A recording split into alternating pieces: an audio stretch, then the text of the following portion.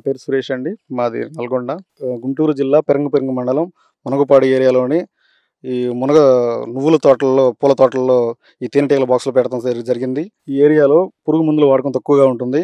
తేనెటీగలకి organic పురుగు మందులు వాడిన ప్రాంతాల్లో తేనెటీగల బాక్సులు పెట్టవలను. దానివల్ల తేనెటీగలు చనిపోకుండా ఉంటాయి. తేనెటీగల పరిశ్రమలో ముఖ్యంగా రాణి అనే రాణి తేనెటీగ అనేది ప్రాధాన్యం అండి. రాణి ఈగ దాని డైరెక్షన్లోనే మిగతా వర్కర్స్ బీస్ పోతుటీగలు కూలీగలు ఈగలు ఈ వర్క్ చేస్తూ ఉంటాయి. రాణికి వచ్చేసి రెండు సంవత్సరాలు దాని జీవిత జీవితకాలము. కూలి ఈగ నలభై ఐదు రోజులు పోతుటీగ నలభై రెండు రోజులు ఈ వర్క్ జరుగుతూ ఉంటుంది. రాణి ఈగ ఏడు వందల గుడ్ల నుంచి మూడు వేల గుడ్ల దాకా పెడుతుంది. తేనె ప్రొడక్షన్ వచ్చేసరికి ఇరవై ఐదు రోజులకు ఒకసారి ప్రొడక్షన్ తీయటం జరుగుతుంది. వర్షాకాలం టైంలో వన్ మంత్ టైం పడుతుందండి. తేనె తీసేటప్పుడు వర్షాలు పడుతున్న టైంలో తేనె తీయకూడదు. దానివల్ల తేనె మొత్తం డ్యామేజ్ అవుతుంది. తేనెటీగల్లో నాలుగు రకాల జాతులు ఉన్నాయండి. నాలుగు రకాల జాతులు మానవశీలకి ఉపయోగపడే తేనెటీగల పెంపకంలో ఐరోపియన్ బీస్ అనేది ఇది ఒక పెంపకం అండి. ఈ ఐరోపియన్ బీస్ అనేది మన మనుషులకి చాలా అనువైనదిగా చెప్పుకోవచ్చు. దీనివల్ల ఒక బాక్స్ నుంచి తేనె మూడు నుంచి ఏడు కేజీల తేనె వరకు ఆదాయం సేకరించవచ్చండి. చిన్నపిల్లలకి బాగా యూజ్ యూజింగ్ ఉంటుంది. మాటలు రావడానికి కానీ లేదు పిల్లలకి ముసలి వాళ్ళకి ఆరోగ్యంగా హెల్త్ పరంగా వచ్చిన ఆయుర్వేద పరంగా కానీ పింపుల్స్కి కానీ కలర్ రావడానికి కానీ అన్నిటికి కూడా తేనె సర్వరోగ నివారణ అండి. తేనె బాగా ఉపయోగపడుతుంది. ఒక్కొక్క తేనెటీగ వచ్చేసి మూడు కిలోమీటర్లు జర్నీ చేస్తుందండి. ఈ మూడు కిలోమీటర్ల పరిధిలోని పూల మీద తేనె సేకరించి మళ్ళీ ఇక్కడికే వచ్చేస్తుంది. ఒక్కొక్క తేనెటీగ బాక్సుల్లో ఏ పెట్టిలో ఈగలు ఆ పెట్టిలోకి వస్తాయి పక్క పెట్టిలోకి వెళ్తే చంపేస్తాయి అనమాట అట్లానే రాణికి వచ్చేసేసి ఓల్డ్ స్టేజ్ అయిపోయిన టైంలో మళ్ళీ యంగ్ రాణిని వర్కర్స్ బీస్ అనేవి కూడా అవే తనంతట తనే స్వతహా తయారు చేసుకుంటాయి. ఇది వారం రోజుల సబ్జెక్టు. ఇది చేయగలిగితే నిరుద్యోగులకి చాలా జీవనోపాధిగా అవకాశం ఉంటుంది. ఈ తేనె ఎక్కువగా సేకరించేది తేనెటీగలు బాగా ఆకర్షణమయ్యేది పొద్దుతిరుగుడు పొద్దుతిరుడు పూలు అరకులోని వలస పూలు అంటారండి. నువ్వులు ఆవాలు కుసుమలు జనుము గులాబీ ఇలాంటి మొలగ వాటిల్లో ఎక్కువగా తేనె ఎక్కువగా సేకరిస్తాయి. వీటిల్లోనే తేనెతో పాటు పుప్పొడి అని ఉంటుంది. ఈ పుప్పొడి పిల్లలు ఏ పుట్టిన పిల్లలకి మేతగా తేనెటీగలు ఉపయోగిస్తాయి.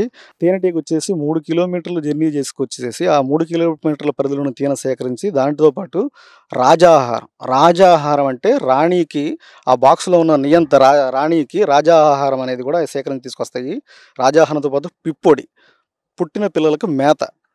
డైరెక్ట్గా పసిపిల్లలు భోజనం చేయరు పాలు యూజ్ చేస్తారు. అట్లాగే ఇవి కూడా డైరెక్ట్గా ముందు ఈ తేనె సేకరించు అనమాట పుప్పుడు అనేది తీసుకుంటాయి.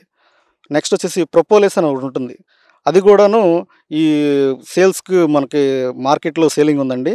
తేనె మగినము పిప్పొడి ప్రొపోలిస్ మొదలైన వాటి వరకు మనకి మార్కెట్లో సేల్స్ పరంగా ఉంటుంది. వాటర్ వచ్చేసేసి వీటికి మూడు కిలోమీటర్ల పరిధిలోని బాయలు కుంటలు ఏ ఏరియాలో చిన్న చిన్న కుంటల్లో ఉన్న కానీ బావిల్లో కానీ వాటర్ సేకరణ తీసుకొస్తే తెచ్చుకుంటూ ఉంటాయి.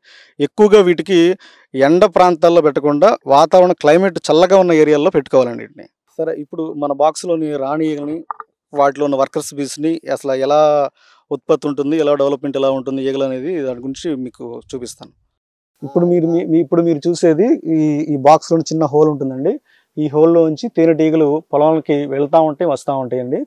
ఒక్కొక్క తేనెటీగ వచ్చేసి మూడు కిలోమీటర్ జర్నీ చేస్తుంది. ఒక్కొక్క ఎల్లు వచ్చిన తేనెటీగ ఏ బాక్స్లో తేనెటీగలు ఆ బాక్స్లోకి వస్తాయి పక్క బాక్స్లోకి వెళ్తే చంపేస్తాయి అనమాట అర స్పూన్ తేనె తీసుకురావడానికి ఒక్కొక్క తేనెటీగ వచ్చేసి రెండు వందల టూ రెండు వందల సార్లు జర్నీ చేస్తుంది అనమాట ఇది రాణి అండి ఇదే మెయిన్ హెడ్ అనమాట ఈ బాక్స్కి ఇది ఏదో ఒక నియంత పెస్టిన్ టైపు అది అది- చెప్పిన డైరెక్షన్లోనే మిగతా ఈగలన్నీ కూడా వర్క్ చేస్తూ ఉంటాయండి. ఈ మిగతా అన్ని కూడాను వర్కర్స్ స్కూల్ ఈగలు ఇది పోతు టీగ అనమాట సెక్స్తో రాణిగతో సెక్స్ కలగ జరిగేది ఈ ఈగ అనమాట రోజుకి వచ్చేసి రాణి ఈగ ఏడు వందల నుంచి మూడు వేల గుడ్లు పెడుతుంది. ఇది సీజన్ వైజ్గా ఆహారం ఎక్కువగా అందినప్పుడు వాటికి బాగా మేత అయ్యి దొరుకుతున్నప్పుడు మూడు వేల గుడ్ల దాకా రాణిగా ఈ వర్కర్స్ బీస్ని డెవలప్ చేయడానికి అవకాశం ఉంటుంది. దీంట్లో రాణిగా పెట్టిన గుడ్డు మన కోడి పిల్లల్లాగానే ఇరవై ఒక్క రోజుకు గుడ్డు పీగిలి ఎలా అయితే బయటకు వస్తాయో రాణిగా పెట్టిన గుడ్లు పీగిలి కూలీగలుగా ఇరవై ఒక్క రోజుకి ఇవి కూడా బయటకు వస్తాయి. కూలీగల లైఫ్ వచ్చేసి నలభై ఐదు రోజులు. దీంట్లో మగే పోతుటీగలు అంటారు. పోతుటీగలు వచ్చేసి సోమరిపోతులు అనమాట వాటి వంతు ఏంటంటే ఓన్లీ పుట్టిన పిల్లలకి ఆట నేర్పడం వరకే వాటి వంతు. అది ఒక తండ్రి పా తండ్రి పాత్ర అనమాట పిల్లలకి ఆహారం అందించడం ఆటలు నేర్పడం వరకు వాటి పోతుటీగలు కూలీగలు వచ్చేసి తేనె తీసుకురావడం రాజాహారం తీసుకురావడం పుప్పొడి తీసుకురావడం అన్నీ కూడా శ్రమజీవులు అనమాట కూలీగలు. రాణి వచ్చేసి అదొక మెయిన్ హెడ్. అది దాని వంతు మెయింటెనెన్స్ చేయటం గుడ్లు పెట్టడం బాక్స్ డెవలప్ చేయటం వరకు రాణికి మెయింటెనెన్స్ అనమాట ఒక బాక్స్కు తేనె వచ్చేసి మూడు నుంచి ఏడు కేజీలు వస్తుందండి. ఒక బాక్స్లో తేనె తీయడానికి మినిమం ఇరవై ఐదు రోజులు టైం పడుతుంది. న్యాచురల్గా తేనెటీగలు ఇలా ఈ మనం ఈ చెక్క ఫ్రేమ్కి ఇలా కడతాయండి. ఇది ఇలా ఇది మొత్తం ఫిల్లింగ్ చేయడానికి మినిమం పన్నెండు రోజుల నుంచి పదిహేను రోజులు టైం పడుతుంది. ఇట్లా కాకుండా ఇప్పుడు ఆర్టిఫిషియల్గా తేనె మగినంతోనే మనం ఇలా ఫౌండేషన్ షీట్స్ని తయారు చేసుకోవచ్చు. దీన్ని చేయటం వల్ల ఇవి ఈ చెక్క ఫ్రేమ్కి ఈ- మైన షీట్ మనం అంటించగలిగితే ఇది మూడు రోజుల్లోనే మనం ఈ షీట్ని తయారు చేసుకోవచ్చు అనమాట అంటే తేనెటీగలకి పది రోజులుగానే ముందుగానే మనం దానికి సరిపడిన గదులను ఏర్పాటు చేసే అవకాశం ఉంటుంది. ఒక బాక్స్కి వచ్చేసి మూడు నుంచి ఏడు కేజీలు అండి దీనికి ఒక ఫ్రేమ్కి వచ్చేసేసి మినిమం ముప్పై కేజీ వస్తుంది. దీంట్లో రాణిగా లేదు దీంట్లో రాణిగా ఉంది. రాణి దీంట్లో రాణిగా ఉన్నప్పుడు ఈ రాణిగా పెట్టిన గుడ్డులు అట్టను తీసేసి దులిపేసి ఈగలు దులిపేసేసి ఈ అట్టనే ఈ బాక్సులకు ఇచ్చేసేస్తే ఆటోమేటిక్గా పదమూడు రోజులకి మళ్ళీ కొత్త రాణి తయారవుతుంది అనమాట సో పొగ వేసుకోవాలండి. తేనెటీగలు స్టార్టింగ్ ముందు తేనెటీగల బాక్సులు ఓపెన్ చేసేటప్పుడు నిదానంగా వాటికి ఒత్తిడి తగలకుండా ఇప్పుడు మీరు చూస్తున్నది ఇరవై మూడు రోజుల నుంచి ఇరవై ఐదు రోజులు నిండిన తర్వాత తేనెటీగలు తేనె ఫుల్ అయిందని అర్థం ఏంటంటే ఇట్లా తేనె మైనంతో కప్పేయబడతాయండి.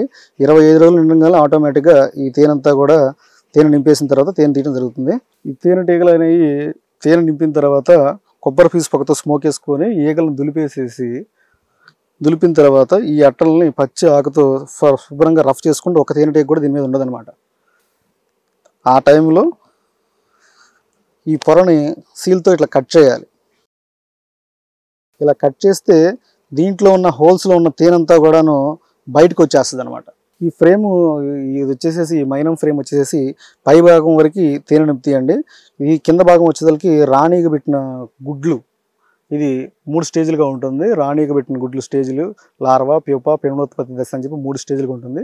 ఈ మూడు స్టేజ్లు ఇరవై ఒక్క రోజుకు పూర్తయిన తర్వాత కోడి పిల్ల ఎలా అయితే ఇరవై ఒక్క రోజు పిగిలి బయటకు వస్తుందో అలా ఈ రాణి వర్కర్స్ పీసు బయటకు వచ్చేస్తాయి అనమాట ఇలా ఇలా సీల్ కట్ చేసిన తర్వాత తేనె తీసే యంత్రం ఉంటుంది. దాంట్లో పెట్టేసేసి దీన్ని తిప్పుతా ఉంటే తేనె మొత్తం కారిపోతుంది. ఆ- ఆ తిప్పినప్పుడు ఆ హెయిర్కి తేనె వరకు కారేసేసి ఈ తుట్టి వేస్ట్ కాదు. ఈ తుట్టి తుట్టిలానే ఉంటుంది. ఆ తేనె తీయటం పూర్తయిన తర్వాత నెక్స్ట్ మినిట్ మళ్ళీ బాక్స్కి ఇస్తే నెక్స్ట్ టైం నుంచి మళ్ళీ తేనె పెట్టడం స్టార్ట్ చేస్తాయి అనమాట వేస్ట్ ఏది పోదనమాట మనం వర్క్ చేసేటప్పుడు అన్ఫార్చునేట్లీ ఒక తేనెటీగ మన మీద దాడి చేసి కుట్టింది అనుకోండి ఆ కుట్టినప్పుడు దానికి ఒక ముళ్ళు ఉంటుంది. ఆ ముళ్ళును తీసేసేసి ఏదో ఒక పచ్చి ఆకు తీసుకొని రఫ్ చేసేసేస్తే మన ఒక తేనెటీగ మన మీద దాడి చేయకుండా ఉంటుంది అనమాట ఎందుకంటే ఆ తేనెటీగ కుట్టంగానే దానికి ఒక రకమైన స్మెల్ ఉంటుంది. ఆ స్మెల్కి ఇంకో ఈగ మన మీద దాడి చేస్తుంది. ఆ స్మెల్ రాకుండా చేయడం అంటే ఏదో ఒక పిచ్చి ఆకు రఫ్ చేస్తే మన మీద తేనెటీగలు దాడి చేయకుండా ఉంటాయి అనమాట తేనెటీగలకు వీటిల్లో నుంచి విషాన్ని తీసి పెరాలసిస్ ఇంజక్షన్లోకి దీన్ని మెడిసిన్గా వాడతారండి. ఈ తేనెటీగలు కొడటం వల్ల మనిషికి ఎయిటీ పర్సెంట్ పెరాలసిస్ రాకుండా అవకాశం ఉంటుంది. మా దగ్గర ఈ విషయాన్ని కూడా సేకరిస్తారు మెడికల్ పరంగా. ఈ పరిశ్రమ నుంచి ఇప్పుడు మనం ఈ తేనె తీసే మిషన్ యంత్రము దాన్ని ఎలా సేకరిస్తారో దాన్ని ఎలా ఫిల్లింగ్ చేస్తారో ఎలా శుభ్రపరిచి బాటింగ్ చేస్తారు అనేది మనం వెళ్ళి చూద్దాం. ఇందాక మనం తేనెటీగల బాక్స్లోని తేనె సేకరించిన అట్టల్ని ఈగలను దులిపేసేసి తీసుకొచ్చి వాటిని తీసుకొచ్చాం కదా వీటిని ఈ తేనె మిషన్లో పెట్టేసేసి ఈ ఈ తేనె మిషన్ హ్యాండిల్తో తిప్పుతూ ఉంటే దాంట్లో ఉన్న తేనె మొత్తం కూడాను కారిపోయి తేనె తుట్టి పాడవకుండా తేనె కారిపోతుంది తేనె తుట్టి అలాగే ఉంటుంది. ఈ తేనె తుట్టి కారిపోయిన తేనె తుట్టిని నెక్స్ట్ మళ్ళీ అదే బాక్స్లో ఇచ్చేస్తే నెక్స్ట్ మినిట్ నుండి దాంట్లో తేనె పోయటం స్టార్ట్ చేస్తాయి అనమాట ఈ తే సేకరించిన తేనె మిషన్లో ఉన్న తేనెని ఒక బకెట్తో ఈ స్టీల్ డ్రమ్ములో పోసేసి లైలాన్ క్లాత్తో ఫిల్టర్ చేస్తాం అనమాట ఈ ఫిల్టర్ చేసిన దాన్ని నీట్గా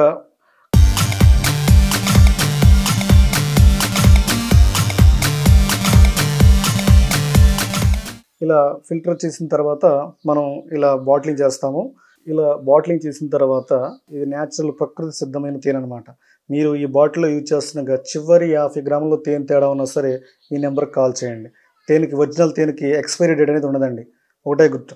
ఎన్ని సంవత్సరాలు ఉన్నా సరే తేనె పాడవటం జరగదు. ఇలా సేకరించిన తేనెకి మీకు ఒరిజినల్ డూప్లికేట్ అని తెలుసుకోవడానికి కూడా ఒక చిన్న చిట్కా చెప్తానండి. ఒక గాజు గ్లాసులో సగానికి వాటర్ పోయండి. ఈ తేనె ఒక స్పూన్ వేయండి. ఒరిజినల్ తేనె అయితే డైరెక్ట్గా నీళ్ళలో కలవదు. డైరెక్ట్గా కిందకు చేరుతుంది. అదే డూప్లికేట్ తేనె అయితే తేనె పోయంగానే లెమన్ వాటర్లా కలిసిపోతుంది అనమాట తేనె గురించి ఏదైనా సలహాలు సూచనలు కావాలన్నా కానీ మాకు ఈ నెంబర్కి కాల్ చేయండి. మీరు మా ఫామ్ దగ్గరికి వచ్చినా పర్వాలేదు. మీకు ఒకవేళ ఈ ఫామ్ మీద ఇంట్రెస్ట్ ఉంది మేము ఏదైనా ఆసక్తిగా పెట్టుకోగలుగుతాము అనుకుంటే దీని గురించి శిక్షణ తరగతులుగా కానీ ఇవన్నీ కూడా ఈ నెంబర్కి కాల్ చేస్తే మీకు అవైలబుల్గా ఉంటాము.